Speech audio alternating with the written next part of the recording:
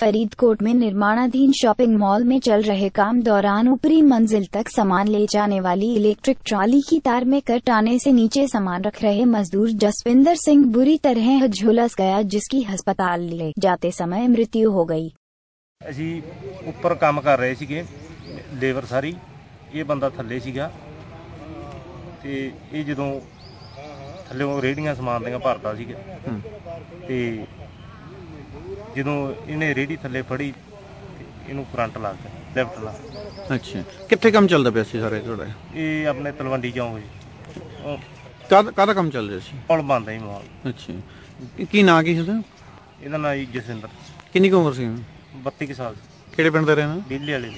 ਹੋਈ ਹੈ ਜਦੋਂ ਅਸੀਂ ਲਿਆ ਕੇ ਇਹਨਾਂ ਨੂੰ ਡਾਕਟਰਾਂ ਨੂੰ ਦਿਖਾਇਆ ਹੂੰ। ਤੇ ਇਹ ਆਂਦੇ ਵੀ ਇਹ ਆਦਮੀ ਖਤਮ ਆ।